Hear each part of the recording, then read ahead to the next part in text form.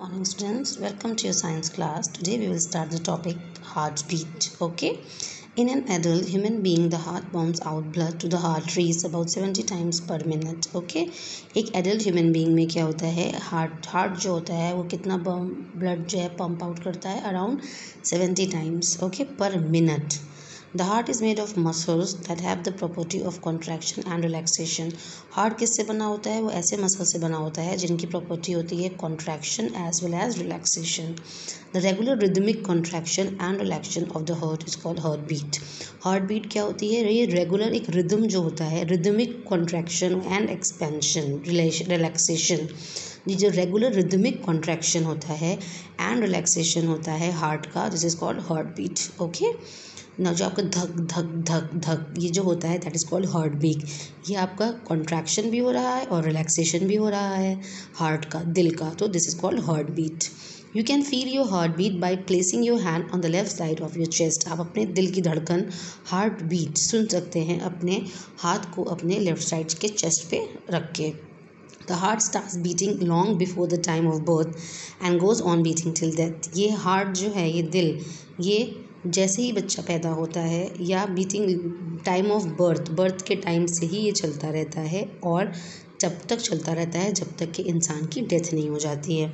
The heartbeat goes up to one fifty times a minute when a person is exercising और doing muscular work अगर कोई इंसान को exercise कर रहा है या कोई भी मस्कुलर वर्क कर रहा है, उस केस में इंसान की जो हार्ट बीट्स होती हैं that goes around one fifty per minute 150 times a minute. The heartbeat can be observed with the help of an instrument called a stethoscope.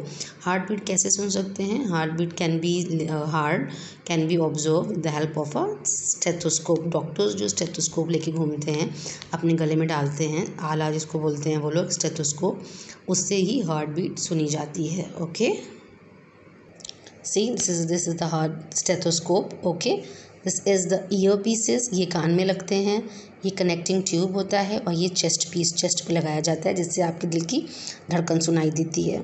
Okay now a stethoscope amplifies the sound of a heartbeat stethoscope क्या करता है? ये heart beat का sound सुनाता है so that वो clearly सुनाई दे सके। Stethoscope consist of three main parts stethoscope में जो होते हैं, तीन मेन पार्ट्स होते हैं पार्ट्स होते हैं। अ चेस्ट पीस जो special sensitive to heart beat एक चेस्ट पीस होता है, जो सेंसिटिव होता है हार्ट बीट्स पे, और वो डॉक्टर जो हैं, वो हमारे चेस्ट पे रखते हैं। चेस्ट पीस चेस्ट पे रखते हैं, तभी दिल की धड़कन सुनाई देती है। देन टू ईयर पीसेस होते हैं, जो डॉक्टर अपने कान में लगाते हैं सुनने के लिए धड़कनें। And third is connecting tube ये कनेक्ट करती है ईयर पीस को और चेस्ट पीस को। ठीक है? Now keeping the heart healthy अब हमको हार्ट अपना कैसे हेल्दी रखना चाहिए?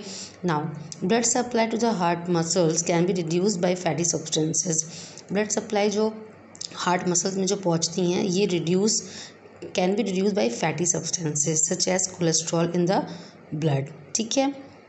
ब्लड सप्लाई रुक जाएगी अगर हम फैटी सब्सटेंसेस खाते हैं, जैसे कि कोलेस्ट्रॉल से भरा हुआ खाते हैं तो ब्लड सप्लाई रुक सकती है, ब्लड सप्लाई कम हो सकती है। Cutting down the amount of fat in the diet will help to keep the heart healthy हमें फ़ैट को अपने डाइट में कम करना चाहिए ताकि हमारा जो ब्लड जो पंप हो रहा है, दिल में जो ब्लड जा रहा है, जो पंप कर रहा है, वो हेल्दी रहे। This can be achieve by eating less of meat and chips for example अब आप कम मीट खाइए, कम चिप्स खाइए, ये नहीं कह रहा है आपसे कोई कि चिप्स ना खाइए या मीट मत खाइए। खाइए but it should be in a limited amount okay आप फैट कट करोगे अपनी डाइट में फ़ैट कम करोगे तो हार्ट आपका हेल्दी काम करेगा okay also when a fat rich diet is consume regularly अगर fat rich diet regularly consume किया जाएगा a person becomes obese a person जो है वो ओबेस हो जाएगा। This plus puts extra strain on the heart ये हार्ट पे और ज़्यादा स्ट्रेन डालता है।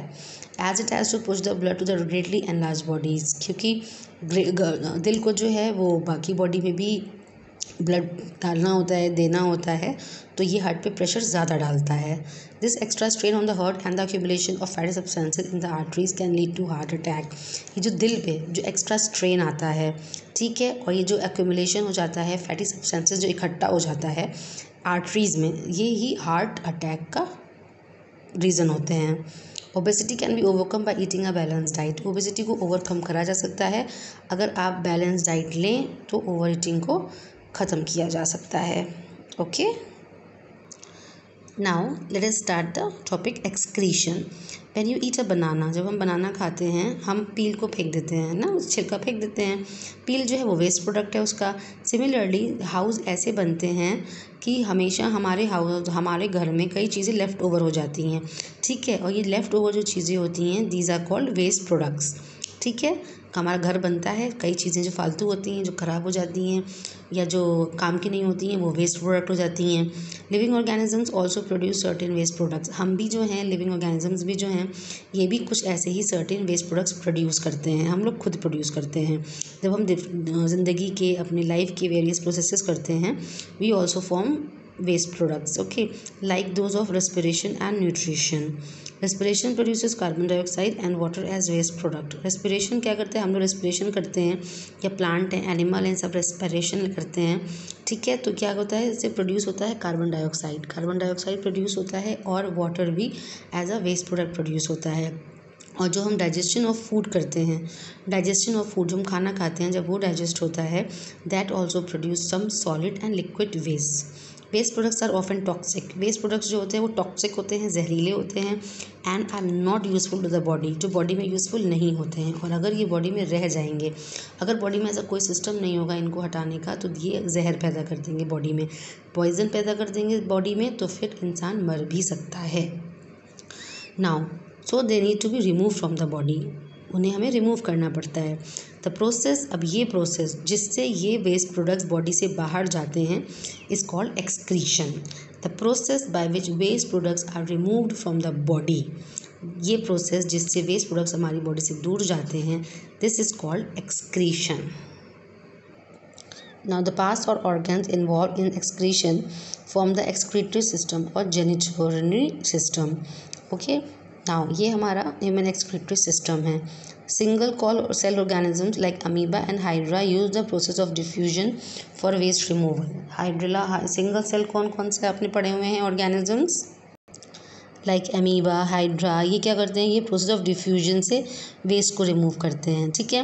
Plants have no specialise organs plants का कोई स्पेशल ऑर्गन नहीं होता है इस पर्पज़ के लिए एक्सक्रीशन के लिए. कॉम्प्लेक्स एनिमल्स में स्पेशलाइज्ड ऑर्गन होता है एक्सक्रीशन के लिए. Now excretory system in humans excretory system in human consist of the following organs इसमें हमारे एक्सक्रेशन में ह्यूमन में एक्सक्रेशन में ये चार ऑर्गन्स ये काम करते हैं। पेयर ऑफ़ किडनीज का भी रोल है यूरिटर्स का भी रोल है यूरिनरी ब्लैडर का रोल है और यूरिथ्रा का रोल है। Kidneys are bean shape structures located just above the waist kidneys जो होती हैं, ये बीन लाइक शेप स्ट्रक्चर्स होती हैं, जैसे आपने राजमा का दाना देखा होगा। बीन शेप स्ट्रक्चर्स किडनी होती हैं वेस्ट के जस्ट ऊपर होती हैं। Each kidney consist of a large number of coiled tubes एक किडनी जो होती है ईज किडनी जिसमें consist of large number of coiled tubes होती हैं, जिनको नेफ्रॉन्स कहा जाता है। ठीक है जिसे nephrons they act as filters ये फ़िल्टर का काम करते हैं और वेस्ट प्रोडक्ट को फ़िल्टर करते हैं ब्लड से जो दो किडनीज़ में पहुँचता है। The useful substances are absorb back into the blood जो यूज़फुल सब्सटेंसेज होते हैं, वो ब्लड में वापस हो जाते हैं और जो बेकार होते हैं वेस्ट होते हैं, वो बाहर की तरफ़ आ जाते हैं।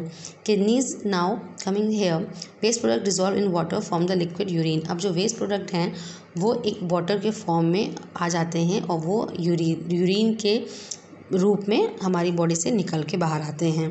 The urine contains 95 percent water two point five percent urea and two point five percent other waste products हमारे यूरिन में क्या होता है? 95 परसेंट वाटर होता है 25 two point five percent urea होता है और टू पॉइंट फाइव परसेंट बाकी वेस्ट प्रोडक्ट्स होते हैं। ठीक है? A narrow tube called ureter ये देखिए, ये यूरिटर है एक नैरो सा ट्यूब है runs from the inner side of each kidney ये हर दोनों किडनी की तरफ़ से एक ये ट्यूब निकल के बाहर आ रहा है दिस इज़ कॉल्ड यूरिटर ठीक है द टू यूरिटर का क्या काम होता है? The two ureters from the two kidneys are connected to a large sac call the bladder अब ये जो ट्यूब्स हैं, ये जो हैं, ये कनेक्ट हो रहे हैं आके एक लार्ज ब्लैडर से। Urine passes out from the kidney through the two ureters into the urinary bladder अब यूरिन जो यहाँ से वेस्ट प्रोडक्ट जो आ रहा है, पानी वेस्ट प्रोडक्ट वो आके यहाँ पे इकट्ठा हो रहा है आके यूरिनरी ब्लैडर में। ठीक है? नाउ यहाँ से ब्लैडर से अब ये हमारे यूरिथ्रा के थ्रू फाइनली यूरिन पास हो रहा है। ठीक है? यूरिनरी ब्लैडर से यूरिथ्रा के थ्रू हमारी बॉडी से ये यूरिन पास होता है, बाहर आ जाएगा okay now other organs of excretion in humans और जो तरीके हैं एक्सक्रीशन के हमारी बॉडी में सी क्या क्या हैं? Lungs they remove carbon dioxide and water produce during respiration lungs क्या करते हैं? ये कार्बन डाइऑक्साइड को रिमूव करते हैं और जो वाटर प्रोड्यूस होता है during respiration then second is skin it removes urea urea होता है सॉल्ट नमक हमारी बॉडी से एक्सेस जो पानी में पानी होता है, वो स्वेटिंग के थ्रू हमारी बॉडी से निकल जाता है।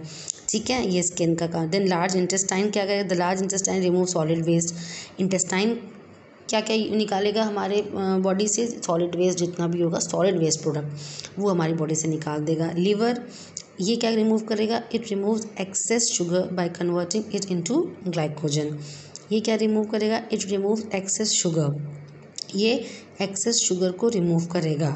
It remove excess sugar by converting it into glycogen okay ये एक्सेस शुगर को हमारी बॉडी से निकाल के बाहर करेगा. ठीक है? और next is sweating besides kidneys our skin also helps in eliminating waste kidneys के अलावा हमारी स्किन भी जो होती है वो वेस्ट को निकालती है बाहर। किस फॉर्म में? स्वेटिंग पसीना।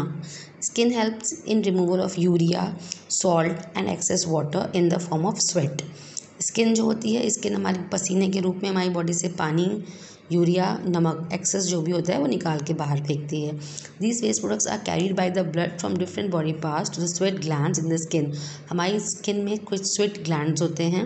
ये जो वेस्ट प्रोडक्ट्स होते हैं, ये इस ब्लड को लेके जाते हैं from different parts of the body to the sweat gland in the skin okay now sweating क्या होता है? Production of a watery fluid ये वाटरी फ्लूड है जो हमारे स्वेट ग्लैंड से निकलता है, जो हमारे स्किन में होती है और बॉडी टेम्परेचर को रेगुलेट करती है।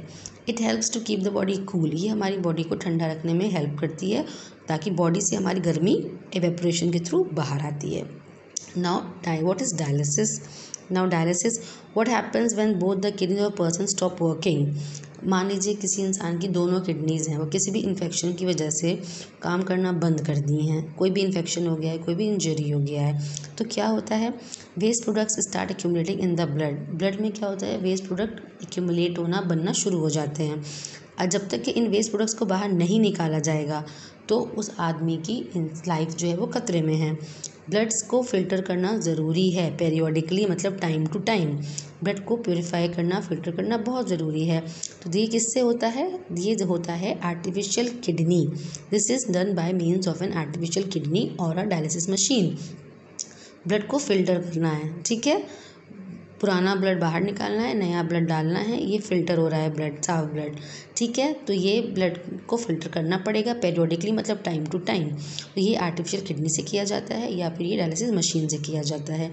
ना what is dialysis dialysis is a method of separating toxic substances from the blood when the kidneys are unable to do so dialysis क्या करता है? ये एक मैथड है सेपरेट करने का टॉक्सिक सब्सटेंसेस को सेपरेट करने का बॉडी से ब्लड से। जब हमारी किडनी काम करना बंद कर दें, ठीक है?